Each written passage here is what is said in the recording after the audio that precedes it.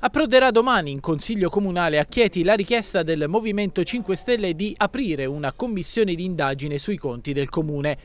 Casse in rosso per 12,7 milioni di euro, un buco già finito sotto la lente di ingrandimento di una indagine aperta dalla Corte dei Conti che ha richiesto anche l'intervento degli ispettori del Ministero dell'Economia. Nel dettaglio la commissione di indagine sarebbe chiamata ad approfondire la gestione dei fondi comunali nel periodo compreso tra gennaio ed agosto del 2017, ma si potrebbe risalire anche a periodi precedenti, a dieci anni prima in particolare sotto la gestione della maggioranza guidata dal sindaco Ricci. Tra il 2006 e il 2007 infatti i conti del comune hanno iniziato a peggiorare suscitando le prime perplessità. Sì, è una proposta che abbiamo depositato già da qualche mese in realtà e che arriva in Consiglio Comunale domani ed è una proposta di delibera che serve per istituire una speciale commissione di studio e di inchiesta, così come prevede il nostro regolamento per il funzionamento del Consiglio Comunale, che dovrà servire al Consiglio Comunale, non soltanto al Movimento 5 Stelle o eh, soltanto all'opposizione, ma a tutto il Consiglio Comunale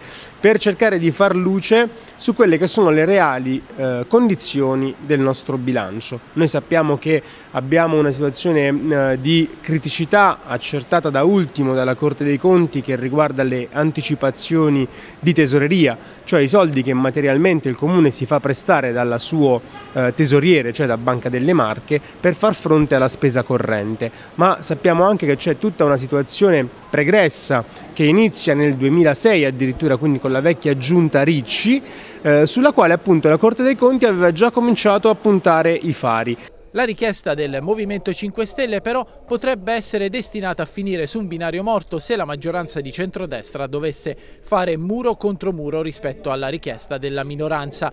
Le opposizioni infatti tutte insieme hanno 12 voti mentre la maggioranza che sostiene il sindaco Umberto Di Primio ne ha 17.